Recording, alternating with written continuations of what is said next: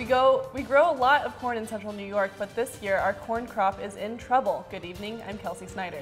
And I'm Marley Tuskus. It's all due to the cool and rainy early summer, which has delayed the corn harvest. NCC News reporter Michelle Fenelon is live here in the studio with our top story.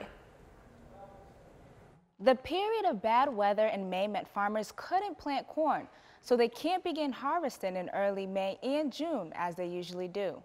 You can find all kinds of produce at the Central New York Regional Market, from broccoli to peppers to bananas and tomatoes. But there's one thing that's missing. Corn by the 4th of July, but it won't happen. That's because farmers had to delay planting corn this year. Farmers like Ben Payne have been turning away customers who've been asking for sweet corn. Because of all the wet weather we had in the spring, couldn't get nothing done, the ground was too wet. Too much rain. Obviously, this year's been uh, well beyond normal. Uh, so it's just worked out that the days that I've been here uh, selling plants are the days that I could be planting. This has been one of Syracuse's wettest springs ever, especially in the month of May when farmers usually begin planting corn. We lose a month of income. We lose the whole month because we can't extend the season because we only have so much time to grow stuff. And that means thousands of dollars for farmers like Payne.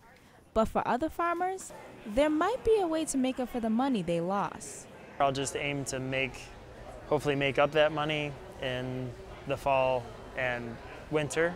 So instead of planting, you know, however many, a pound of carrot seed, I'll plant two pounds of carrot seed and just work that much harder, you know, in October and November instead of July and August. Sign says he usually begins planting his corn May 1st, but he won't start until this weekend, which he says is way too late.